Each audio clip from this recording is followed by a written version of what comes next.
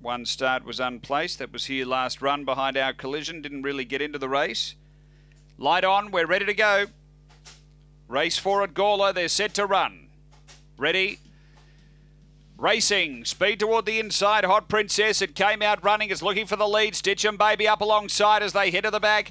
Uh, three away hiding, then Select Mick. The inside, Soda Ashley from Aston Clara and Fabra Oak. Real race on. Hot Princess headed now by Stitch and Baby. Railing hard, Select Mick. Oh, gee, Select Mick busting through. Gets clear from Stitch and Baby sticking on. Then Hot Princess, but Select Mick strong to the line. Beats Hot Princess. Uh, Stitch and Baby and close up hiding from Soda Ashley.